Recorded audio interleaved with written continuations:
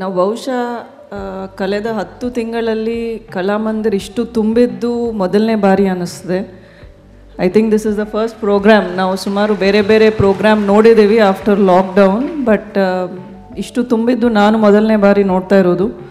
ಇದು I think ಈ ಸಂಸ್ಥೆಯವರ ಪ್ರಾಮಾಣಿಕ ಕೆಲಸದ ಬಗ್ಗೆ ರಿಫ್ಲೆಕ್ಷನ್ ಅಂತಲೇ ನಾವು ಅಂದ್ಕೊಳ್ತಾ ಇದ್ವಿ ಇಲ್ಲಾಂದರೆ ಅವರು ಇಷ್ಟು ವರ್ಷದಿಂದ ಮಾಡ್ತಾ ಇರೋದು.